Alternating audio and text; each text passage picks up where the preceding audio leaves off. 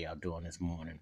So my first video today is gonna be about to talk about Kanye West still seriously talking about running for office in 2024 and my reactions. I want whatever drugs he's smoking and inhaling. What he need to run for is a studio and find someone who can find some ghost grooves or something for him as an artist and stop all that foolery he been putting out. Cause his music been wick whack.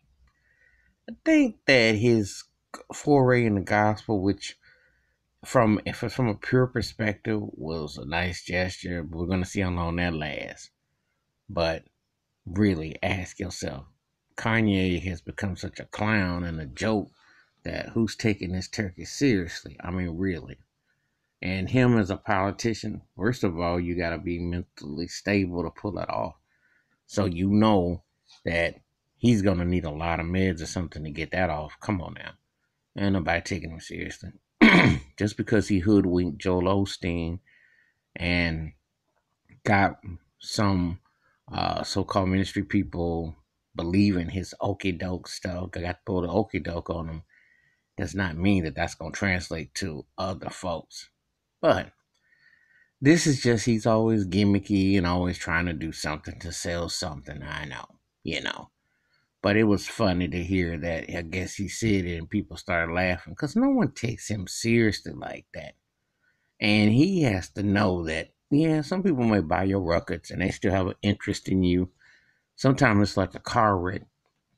You're going to keep your eyes on just to make sure you want to see who got hit, what have you. But ain't nobody sweating it like that. Mm-mm. So I'm like, okay, yeah, you're gonna run, okay. And who's gonna be who you gonna be who's gonna be your ticket mate and what you gonna do and what's your initiative? You know, see, it's funny when people say, I'm gonna do this and I'm gonna do that. And I'm like, well, where you stand on stuff? You know. It's not like it's just not viable. But he's good for a laugh, though. I'll give him that. He likes to make himself the butt of jokes at times. And hey, if you can laugh at yourself, hey. Because I hope he understands that, you know, it's comedy. I hope he ain't serious because then he really think he's serious, then well, they're going to come and they're to come take him away for real. But anyway, that's my thoughts about Kanye West talking about he gonna run for office in 2024, and then he got laughed at. But give me your thoughts and your take about that. Hit the like and subscribe to the bell rings new video. Have a good day. Peace.